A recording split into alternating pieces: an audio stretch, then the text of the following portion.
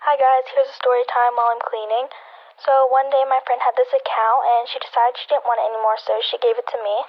At the time, it had about 10 to 15 followers, so I was like, sure, why not?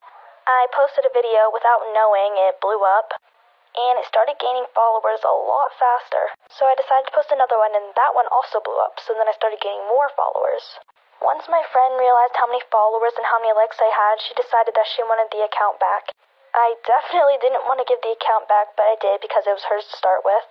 So I'm making this account to try and gain back my followers. So if you're seeing this on your For You page, just give it a like, that's all. And if you wanted to follow me,